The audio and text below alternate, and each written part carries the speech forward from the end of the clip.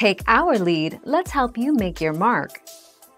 Our goal is your satisfaction. Let us show you the way. That is when they become comfortable. If you are looking to buy used Birkenstocks, I recommend focusing on the footbed and the sole.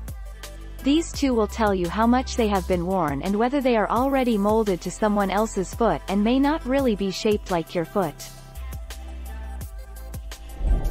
Thank you for watching. Please subscribe and hit the bell notification.